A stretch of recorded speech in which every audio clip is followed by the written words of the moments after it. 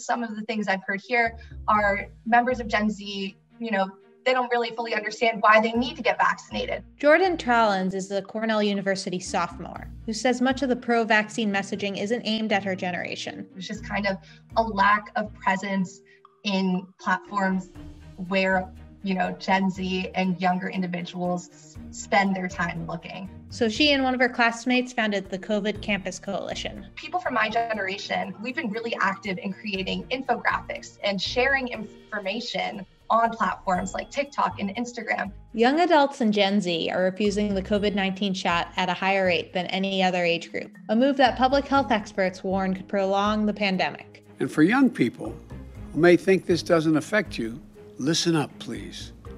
This virus, even a mild case, can be with you for months. It will impact on your social life. You know, people were very felt pretty invincible. They felt like if they got COVID, it wouldn't be a big deal. So what's the point?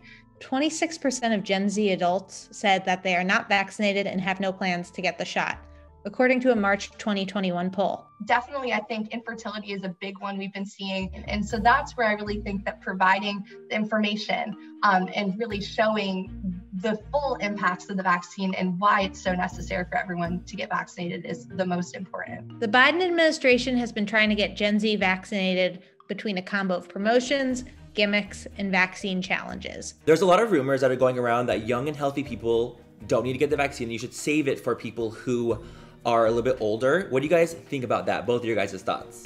We have enough supply of vaccine. We don't have to worry about it. Everybody can get vaccinated. And I'm not going to ask you, but you should too. I'm fully vaccinated, just so you're aware. All right. Well, good. We're in. I really think that focusing on targeting these social media platforms and really spreading messaging um, in places that you know Gen Z is watching and listening